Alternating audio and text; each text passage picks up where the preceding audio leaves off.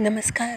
मित्रांनो स्वागत आहे तुमच्या लाडक्या मैत्रिणीच्या यूट्यूब चॅनलला मित्रांनो आज मी तुम्हाला सांगणार आहे गार्डनमध्ये एका वयस्कर म्हणजे आजोबांनी माझी चिमणी कशी ठोकली म्हणजे मला कसं चावलं आणि त्याच्यानंतर ते मला कसे त्यांनी एकदम असं खुश केलं जेणेकरून मला चालायसुद्धा येत नव्हतं.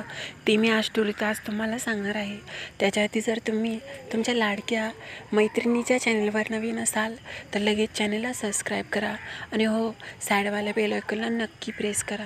तर चला मग कहाणीला सुरुवात करूया. मित्रांनो माझं नाव साक्षी आहे आणि मी आत्ता सध्या तेवीस वर्षाची आहे. ही गोष्ट साधारणतः खूप वर्षांपूर्वीची आहे. नाही का? आमच्या घराशेजारी एक गार्डन होतं आणि तिथे आम्ही आणि माझ्या मैत्रिणी जायचो आणि तिथे असलेल्या गार्डनमध्ये खेळायचो. तर तिथे एक झोपाळा होता आणि आधी नाही का मला तसले ड्रेस घ्यायचे म्हणजे जगा वगैरे नसतो का तसला.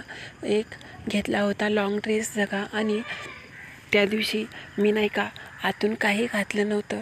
कारण की माझी असलेली चड्डी खूपच अशी फिट होती त्यामुळे मला थोडासा त्रास व्हायचा. त्यामुळे मी ती घातलीच नव्हती आणि मी तशीच खेळत होते.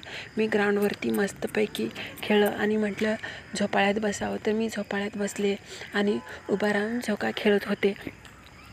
असा एक झोका घेतला की माझा ड्रेस थोडासा वर व्हायचा आणि आतमधल्या माझ्या कोऱ्या कोऱ्या मांड्या आणि माझी गोरी गोरी असलेली माझी छकुली दिसायची.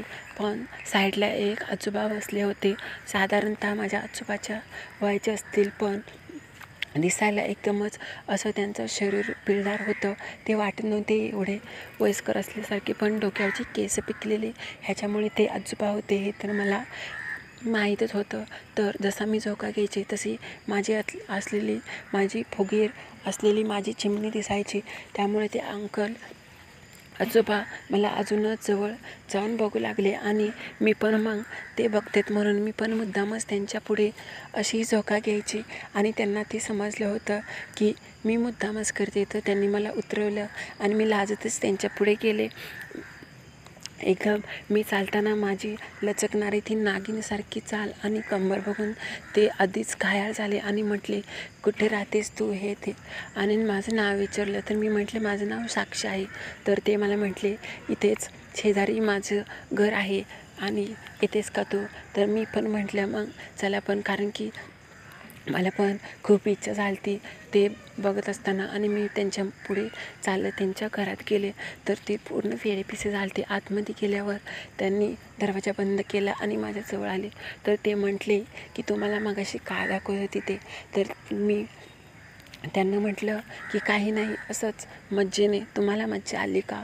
असं मी म्हटले तर ते म्हटले वा तू तर बोलण्यात पण खूपच अशी कामक आहेस. तर ते मला म्हटले याच्या आधी तू केलं आहे का?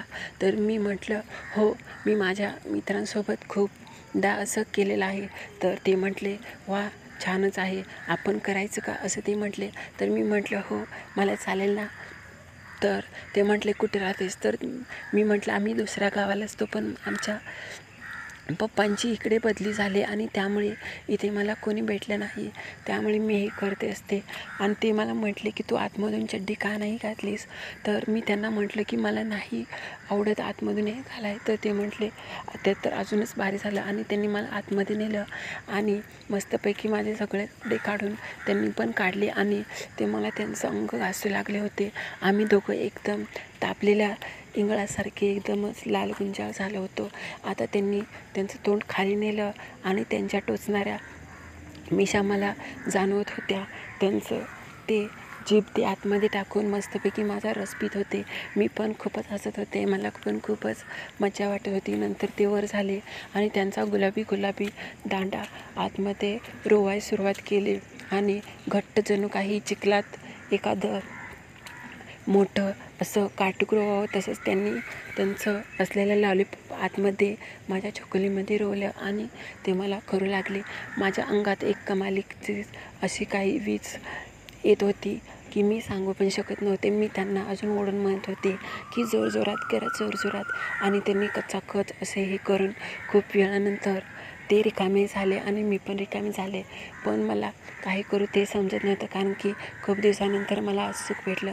तर ते पण लगे खुश झाले आणि नंतर बाहेर आल्यावर त्यांनी मला खूप सारे माझ्या आवडीचे आईस्क्रीम दिले आणि मी पण त्यांना हे केलं. आता तेव्हापासून मी रोजच जायचे आणि ते आजोबा माझे सगळे अंगच विजवत असायचे आणि मला रोजच कच्चा जवायचे.